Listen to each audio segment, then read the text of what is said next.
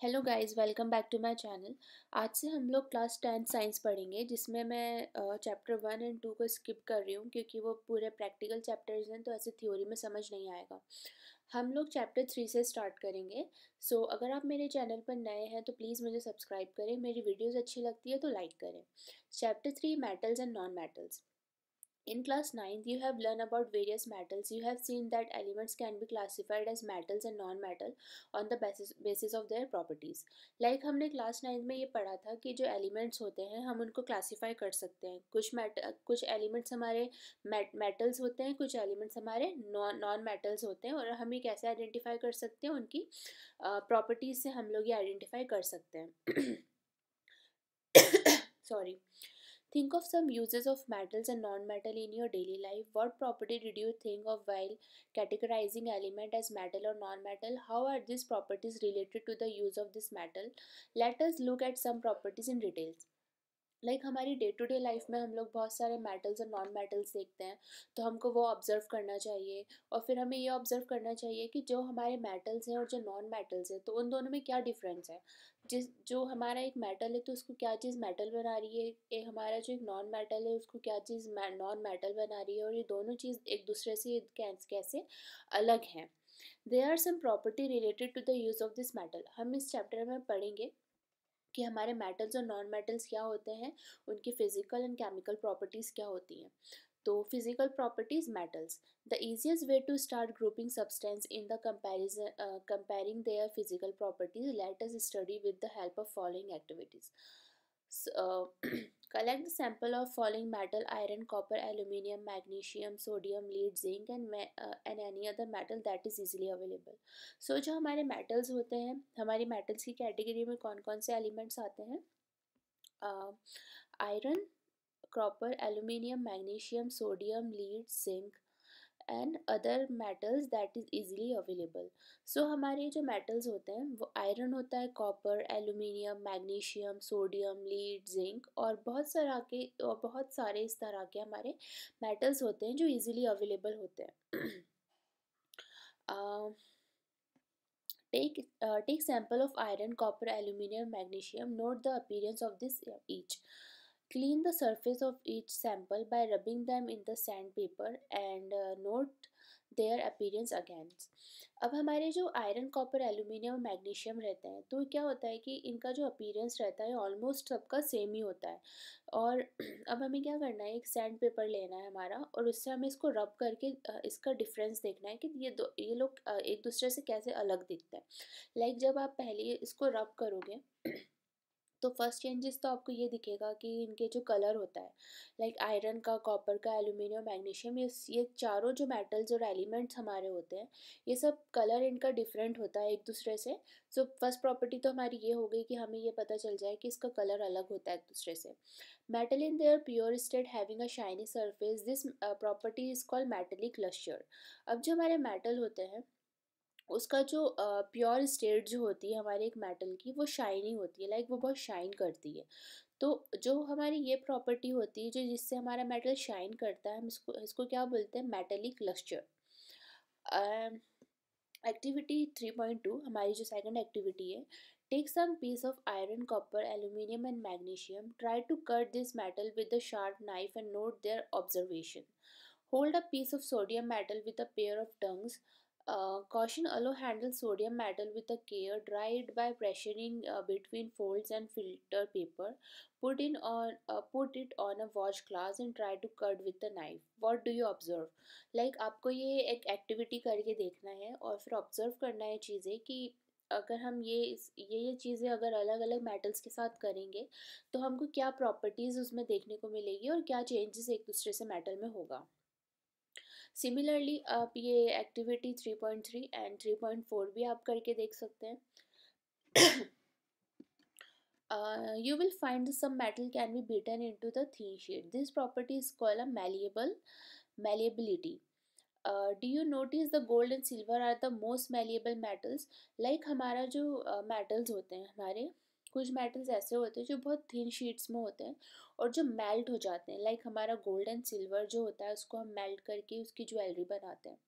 तो हमारे इस इस तरह के मेटल्स को हम लोग क्या बोलते हैं? मेलेबल मेटल्स इन मेटल्स को हमारे मेलेबल मेटल्स की कैटेगरी में हमारा गोल्ड एंड सिल्वर आता है। आपको ये हमेशा याद रखना है कि मेलेबल मेटल्स की कैटेगरी में हमारा गोल्ड एंड सिल्वर आता है और ये इस तरह के मेटल्स होते हैं जो बहुत ज़्यादा ईजीली मेल्ट हो जाते हैं। ये हमारा जो ये मेलिएबल मेटल का जो एक स्टेटमेंट है, ये हो सकता है कि हमारे एग्ज़ाम पर्पज़ से भी बहुत ज़्यादा इंपॉर्टेंट हो। तो आपको ये याद रखना है बिकॉज़ जो टेंथ के एग्ज़ाम्स होते हैं, ये बोर्ड एग्ज़ाम्स होते हैं और इसके अंदर M C Qs fill in the blanks ये सब आता है। तो ये हो सकता है कि एक एम सी क्यूज़ के पार्ट में ये चीज़ आए। तो आपको ये याद रखनी है। The ability of metal to be drawn in to the thin wire is called ductility gold is the most ductile metal You will be surprised to know that a wire of 2 uh, wires about 2 km length can be drawn from 1 gram of gold. It is because of their malleability and ductility, ductility that metals can be given different shape according to our needs. Uh, can you name some metal that are used to making cooking vessels? Do you know why this metal are used for cooking vessels? Let us know uh, following activity to find out the answer. अब जो हमारे कुछ metals uh, होते हैं उनकी इतनी ability होती है कि वो एक थिन वायर के अंदर बनते जाते हैं। लाइक उसका जो सॉरी हमारे कुछ मेटल्स ऐसे होते हैं जिसकी हम लोग उसको मेल्ट करेंगे तो वो थिन वायर बहुत ही पतली पतले वायर्स की शेप में वो बनता जाता है। तो जो हमारा जो पतले वायर बनाता है जो हमारा मेटल हम उसको क्या बोलते हैं? डक्टिलिटी और जो हमारा गोल्ड है, वो सबसे ज़्यादा गोल्ड जो हमारा होता है, वो सबसे ज़्यादा डक्टाइल मेटल होता है। क्योंकि जो हमारा गोल्ड रहता है, अगर हम, हमारा gold one gram of gold है तो उससे हम लोग टू किलोमीटर लेंथ का एक वायर बना सकते हैं, बिल्कुल पतला। पतला उससे हम लोग एक वायर बना सकते हैं तो आप नोटिस करें कि एक ग्राम ऑफ़ गोल्ड एक ग्राम ऑफ़ मेटल कितना ज़्यादा टाइनी होता है और उससे हम दो किलोमीटर लेंथ का एक वायर बना रहे हैं तो हमारा कितना ज़्यादा डक्टाइल है गोल्ड जो इतना मेल्ट हो जाता है जिससे हम बहुत ही थिन वायर बना सकते हैं। It is because of malleability and ductility that metal can be given different shape according to our need तो जो मेटल के अंदर मेलिबिलिटी और डक्टिबिलिटी ज़्यादा होगी उसको हम कोई सी भी शेप में आ, उसको कोई सी भी शेप में हम लोग डाल सकते हैं हमारी नीड के अकॉर्डिंग। अब हमारा जो कुकिंग वेसल्स जो होते हैं, हमारे कुकिंग वेसल्स में जो हमारा मेटल यूज़ होता है तो हम यही वाले मेटल्स क्यों यूज़ करते हैं, अभी हम आगे बढ़ेंगे। यहाँ पर एक एक्टिविटी है तो आपको तो जनरली ये पता होगा कि मोस्ट ऑफ़ द एलिमेंट जो हमारा कुकिंग वेसल्स के अंदर यूज़ होता है, वो एलुमिनियम होता है। Aluminium and steel but aluminium बहुत ज़्यादा बहुत ज़्यादा रिलायबल और बहुत ही ज़्यादा अच्छा मेटल माना जाता है जिससे हम लोग हमारा कुकिंग वेसल्स के अंदर जो यूज़ होता है जो हमारा हमें नुकसान भी नहीं करता है हमारे खाने को और बहुत ही ज़्यादा उसकी अच्छी प्रॉपर्टी रहती है एलुमिनियम की। Take a aluminium or copper wire, clamp this wire on a stand, fix a pin to the free end of the fire using wax, heat the wire with the spirit lamp, candle और burner near the place where it claim what do you observe some other so ये activity है। तो आप अगर चाहें कि आपको ये एक्टिविटी देखना है करके तो आप घर पर अपने देख सकते हैं। तो और अच्छे से अंडरस्टैंडिंग होगी इसकी।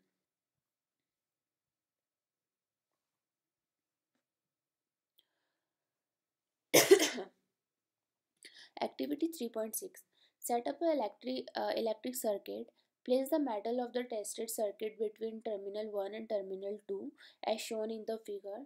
Does the bulb glow अब जो हमारा ये वाला एक्सपेरिमेंट है एक्सपेरिमेंट थ्री पॉइंट सिक्स इसके अंदर ये बताया गया है कि अगर हम एक वायर को दूसरे वायर जो हमारा बैटरी होता है, हम अगर एक वायर से दूसरे वायर को कनेक्ट करें तो हमारा बल्ब जलता है या नहीं जलता है, ये भी एक तरह का बहुत ही प्रैक्टिकल एक्सपेरिमेंट है। अगर हम इसको प्रैक्टिकली करके देखें तो हमारी अंडरस्टैंडिंग और ज़्यादा अच्छी होगी उसमें। अगर हम थ्योरेटिकल पढ़ेंगे तो हम सिर्फ़ पढ़ेंगे और हम भूलेंगे। अगर हम उसको प्रैक्टिकली देखेंगे तो और ज़्यादा अच्छी बेटर अंडरस्टैंडिंग होगी। तो मैं यही सजेस्ट करूँगी कि अगर आप कर सकते हैं एक्सपेरिमेंट तो बिल्कुल अपने घर पर ट्राई करिए तो आपकी अंडरस्टैंडिंग बहुत ज़्यादा अच्छी होगी।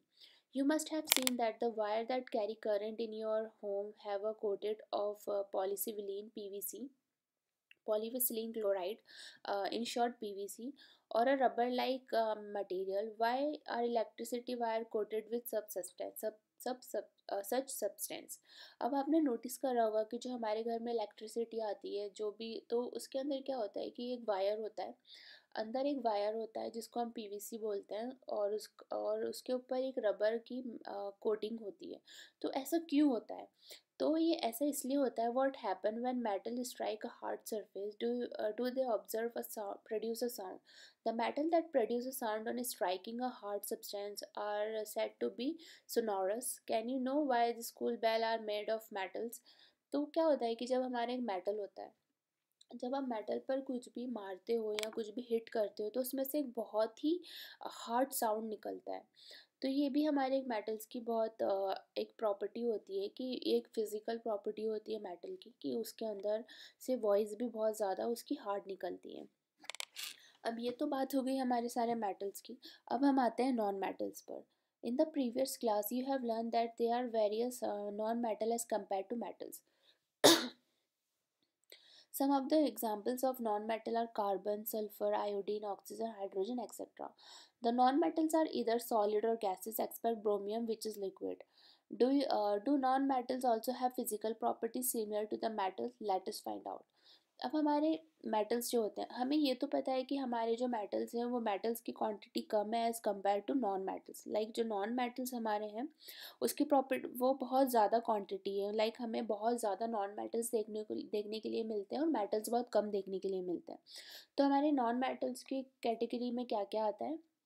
कार्बन सल्फ़र आयोडीन ऑक्सीजन और हाइड्रोजन ये सब हमारे क्या होते हैं? नॉन नॉन मेटल्स होते हैं. और जो हमारे कुछ नॉन मेटल सॉलिड होते हैं कुछ नॉन मेटल्स हमारे गैस होते हैं. सिर्फ़ एक ही हमारा नॉन मेटल ब्रोमियम ऐसा है जो लिक्विड है.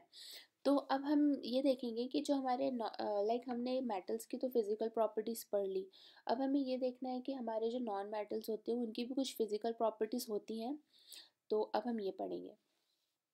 On the basis of uh, an observation, the general physical properties of metal and non-metal in the class you have must been conclude that we can uh, not group element according to their physical property alone. There are many expectation for following. Like हमारे जो metals और non-metals होते हैं हम सिर्फ़ उसको एक ही property के ऊपर हम उसको judge नहीं कर सकते हैं like हमारी जो physical property है हम सिर्फ़ उस पर ही judge नहीं कर सकते हमारे physical uh, हमारे elements को तो हमें यहाँ पर बहुत सारी पॉइंट्स दे रखे हैं जिसके बेसिस पर हम लोग ये क्लासीफाई कर सकें कि क्या चीज़ मेटल है, कौन सी चीज़ नॉन मेटल है। All metal expect mercury exist as solid at room temperature. You have observe that metals have high melting point, but gallium and सेसियस have very low melting point.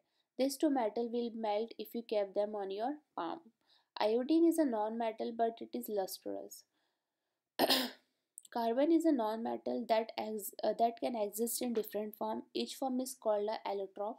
Diamond, an allotrope of carbon, is hardest natural substance known as a, known and has a very high melting and boiling point. Graphite, another allotrope of carbon, it is a conductor of electricity.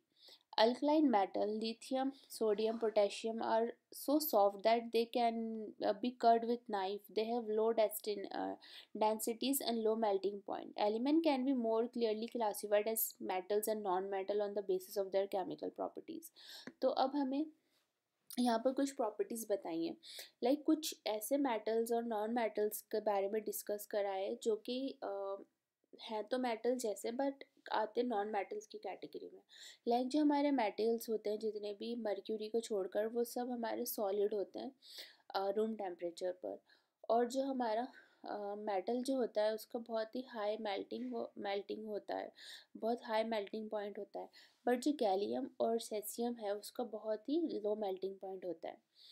तो ये दो metals हमारे जो gallium और caesium जो होते हैं ये इनका लो मेल्टिंग पॉइंट इतना ज़्यादा लो होता है ना, कि अगर आप इसको अपने हाथ पर भी रख लें तो ये मेल्ट हो जाएगा।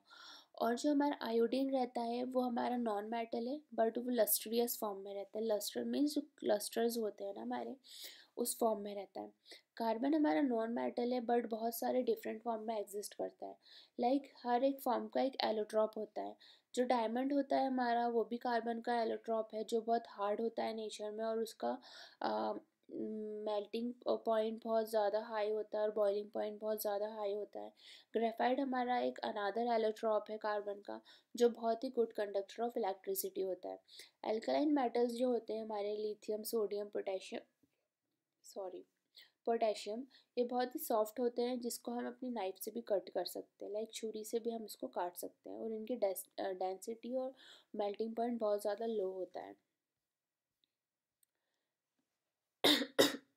Sorry, chemical properties of metal. We will learn about the chemical properties of metal on the following section. For this, collect the sample of metals, aluminium, carbon, iron, lead, magnesium, zinc, and sodium.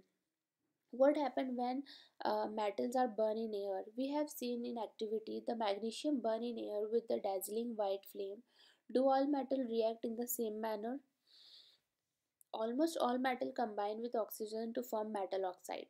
Metal plus oxygen is called a metal oxide. For example, when copper is heat in a air, it combines with oxygen to form copper oxide, a black oxide. So copper plus oxygen is called a copper oxide similarly aluminium form of aluminium oxide aluminium plus oxygen it's called a aluminium oxide so यहाँ पर बहुत सारी हमें chemical uh, equations दे रखी हैं जिसको हम अगर किसी भी मेटल को ऑक्सीजन या हाइड्रोजन के साथ जब हम उसको कंबाइन करते हैं तो वो एक तीसरा फॉर्म बनाती है। लाइक like, एक metal plus second metal is equal to third metal और element We have observed in activity 3.9 that all metal do not react with oxygen at the same rate. Differently, metals show different reactivities toward oxygen. Metals such as potassium and sodium react so vigorously. They catch fire if kept in a open scenes to protect them to prevent accident, uh, accidental fire. They are kept immersed in kerosene oil, a ordinary temperature the surface of metals such as magnesium, aluminium, zinc, lead, etc. are covered with a thin layer of oxide. The protective oxide layer prevent the metal from further oxidation. अब जो हमारे जितने भी metals होते हैं, हमने ये देखा कि जितने भी मेटल्स होते हैं ऑक्सीजन जो होता है उसके अंदर, उसके ऑक्सीजन के साथ जो भी रिएक्ट करते हैं तो वो सेम वे में नहीं रिएक्ट करते हैं। हर हर एक मेटल ऑक्सीजन के साथ रिएक्ट करने पर कुछ और हमें देता है। लाइक like जो हमारा मेटल होता है पोटेशियम और सोडियम वो बहुत ही जल्दी से फायर कैच करता है। तो अगर हम और हमें इसको प्रोटेक्ट करना चाहिए, अगर हमें एक्सीडेंट से बचाना है तो हमें इसको प्रोटेक्ट करना चाहिए। और हमारा जो कैरोसिन ऑयल होता है, वो भी बहुत ही ज़्यादा जल्दी आग पकड़ता है। तो हम, आपने नोटिस किया होगा कैरोसिन ऑयल को भी हम लोग काफ़ी प्रोटेक्ट करके रखते हैं कि उसमें ज़रा भी कोई आग ना लगे। जो हमारा ऑर्डनरी टेम्परेचर होता है सरफेस मेटल का, जो magnesium aluminium zinc lead etcetera ये जितने भी होते हैं हमारे, ये सब बहुत ही एक थिन लेयर जो होती है, इस पर ऑक्सीडाइज होते हैं ऑक्सीजन की एक थिन थिन लेयर होती है इन सब के ऊपर और प्रोटेक्टिव होते हैं ऑक्सी ऑक्सीजन लेयर से ये लोग तो इसलिए क्योंकि इससे फर्दर ऑक्सीडेशन ना हो, जिससे हम कुछ एक्सीडेंट ना हो जाए। Iron does not burn on heating, but iron filling burn uh, vigorously when sprinkled in the flame of burner. Copper does not burn, but the hot metal is coated with black color layer of copper oxide oxidized. Silver and gold do not react with oxygen even the high temperature. अब जो हमारा iron रहता है iron हमारा heat से आग से नहीं जलता है बट आयरन के अगर आप एक आ, फ्लेम के अंदर बहुत देर तक रख देंगे तो उसका भी प्रॉपर्टीज़ चेंज होने लगती हैं लाइक उस बहुत रेड हो जाता है और उसके अंदर भी आग तो नहीं लगती है बट उसका जो मेटल होता है बहुत ज़्यादा हार्ड और बहुत गर्म हो जाता है। ऑक्सीजन जो हमारा जो कॉपर रहता है, कॉपर भी हमारा जलता नहीं है, बट कॉपर के ऊपर भी हमारी एक, हम लोग लेयर लगाते हैं ऑक्सीडाइज, कॉपर ऑक्सीडाइज करने के लिए हम एक ब्लैक कोटिंग लेयर लगाते हैं। सिल्वर और गोल्ड जो हमारा होता है वो ऑक्सीजन से कभी भी रिएक्ट नहीं करता है और यहाँ तक कि अगर आप उसको हाई टेम्परेचर पर भी रखें तो भी वो रिएक्ट नहीं करेगा। आज की वीडियो में मैं यहीं पर ही एंड करती हूँ ये वाला वीडियो। नेक्स्ट पार्ट इस, ये जो वीडियो है, ये वीडियो का पार्ट वन होगा। पार्ट टू में हम लोग चैप्टर के आगे का पढ़ेंगे। अगर मैं सब एक ही वीडियो में बता दूँगी तो वीडियो काफ़ी लेंदी हो जाएगी और बहुत बोरिंग हो जाएगा। और अगर आपने मेरे चैनल को अभी तक सब्सक्राइब नहीं करा है तो प्लीज़ गाइज़ सब्सक्राइब करें लाइक करें and thank you so much for watching